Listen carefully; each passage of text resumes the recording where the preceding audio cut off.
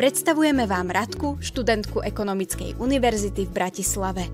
Dnes nemá výučbu, pretože je sobota a tak sa rozhodne sadnúť na bicykel a navštíviť miestny trh. Toto je Karol, ktorý začal podnikať ako pestovateľ ovocia a zeleniny. V tomto podnikaní sa mu darí a aj dnes sa rozhodol, že bude predávať na trhu svoje čerstvé ovocie a zeleninu. Trh je miesto, kde kupujúci a predávajúci na seba navzájom pôsobia a tým sa určuje cena, za ktorú sa tovar kupuje a množstvo, ktoré sa vyrába. Inak povedané, trh poskytuje informácie a podnety na správanie firiem, výrobcov a domácností spotrebiteľov. Hlavným nositeľom informácií je pritom trhová cena. Trh nie je iba naše trhovisko, ale aj online nakupovanie, ktoré sa teší čím ďalej tým väčšej obľube. Aj tu sa stretávajú záujmy kupujúcich a predávajúcich, avšak nedochádza k ich osobnej interakcii.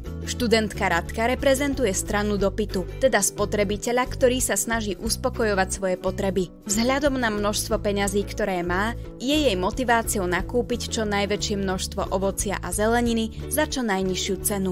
Platí zákon klesajúceho dopytu. Zapamätajme si, že dopyt predstavuje množstvo statku, ktoré sú kupujúci ochotní kúpiť v závislosti od ceny. Na druhej strane farmár Karol je predajcom, ktorý reprezentuje stranu ponuky.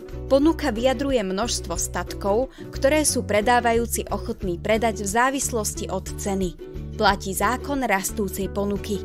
Pomocou krivky dopytu a krivky ponuky vieme graficky znázorniť protichodné záujmy spotrebiteľov a predajcov.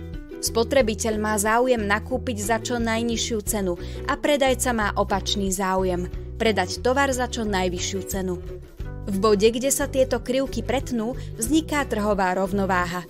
Trhová rovnováha je situácia, keď sa požadované množstvo rovná predávanému množstvu. Všetky domácnosti, spotrebitelia, kupujúci, ktorí mali záujem o kúpu tovarov, boli uspokojení a podobne všetky firmy, výrobcovia predávajúci, sú spokojní s predaným množstvom a trhovou cenou, ktorú získali za predaný tovar. Mladý farmár Karol sa teší z predaja svojej zeleniny a ovocia, avšak je nešťastný z toho, že sa mu vôbec nepredáva hrozno, ktoré ponúka za 5 eur kilogram. Poslednú polhodinu sa preto rozhodol poskytnúť 50 10% zľavu na ponúkané hrozno. Pri vyššej cene, než je rovnovážna cena, ponúkané množstvo hrozna prevyšuje požadované množstvo a teda nášmu predajcovi Karolovi zostane nepredané hrozno. Táto situácia sa označuje ako nadmerná ponuka.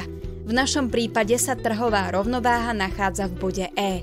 Pri vyššej cene, než je rovnovážna cena, vzniká nadmerná ponuka, prebytok tovarov, ktorú zobrazuje úsečka AB pri cene 5 eur. Rozhodnutie Karola znížiť cenu hrozna viedlo k jeho predaju, keďže podnet vo forme zľavy viedol k zmene správania spotrebiteľov.